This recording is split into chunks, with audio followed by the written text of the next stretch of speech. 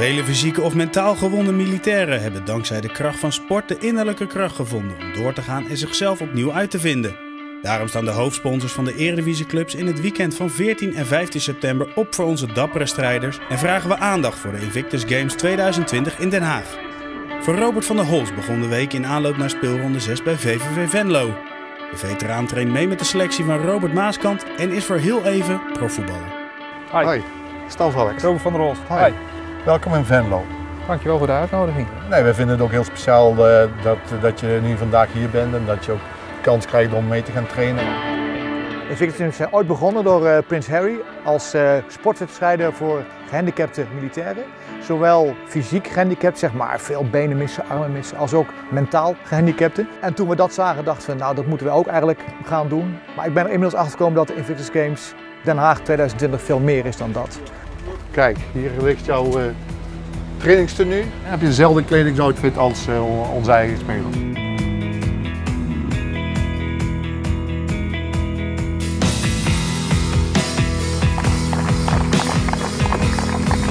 Ik ben in 94, 95 uitgezonden geweest naar het voormalig Joegoslavië, Bosnië. Uh, in Srebrenica geweest. Ja, daar heb ik een aantal zaken gezien. Daarna, in 2002, is bij mij misgegaan. Toen kwam er dus naar boven dat ik chronische PTSS had. Eigenlijk door de Invictus Games en mijn hond heb ik een draai kunnen geven aan dat zwarte gat. En heb ik nu een lichtblauw gat waar ik, uh, waar ik de zon weer zie. Dit is wie ik ben en ik vind het fijn en leuk om hier te zijn, om met jullie mee te trainen. Mooi, nou dan gaan we beginnen.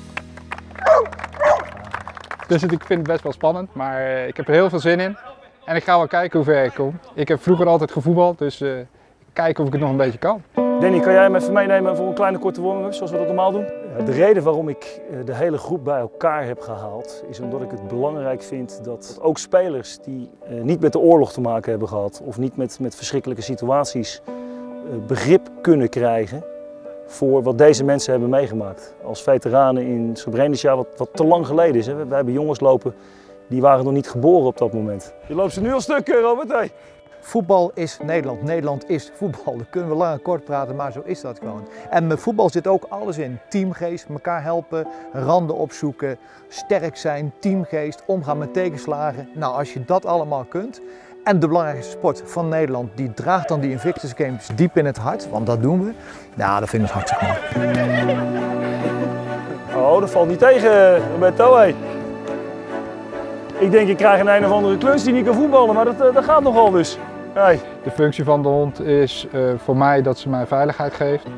Uh, op het moment dat ik s'avonds naar bed ga, zorgt zij, op het moment dat ik een nachtmerrie krijg, dat ik wakker gemaakt word, dat doet zij.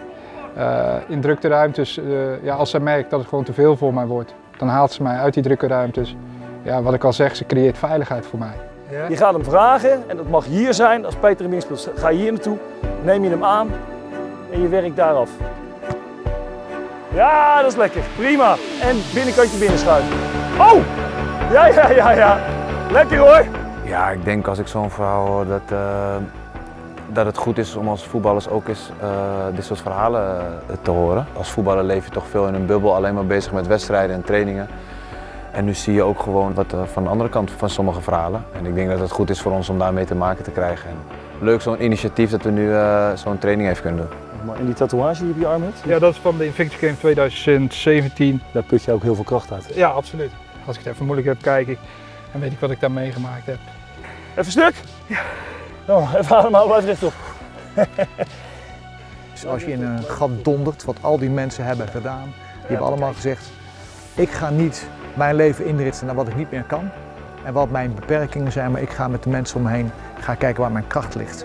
En dus is de Invictus Games iets voor veteranen. Dat is zeker, dat is hartstikke mooi. Maar het is vooral iets wat iedereen laat zien. Kijk eens jongens, zo sterk is de mens. Goeie bal, prima, prima. Als je dit voor het eerst doet en je moet dan in één keer drie, vier vormpjes gaan doen in, uh, in, in, deze periode, dat is hartstikke zwaar. En, maar het is ook wel eens goed om te zien dat uh, wat profvoetballers voor, een, voor een lood aan kunnen en, en hoe makkelijk die gasten dat, dat beleven. Ten opzichte van ongetrainde mensen in dit geval.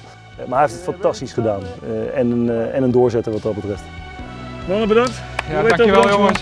Voor de hulp. En tot zaterdag, succes. Dankjewel. Nou, het gaat nu weer. Het was op.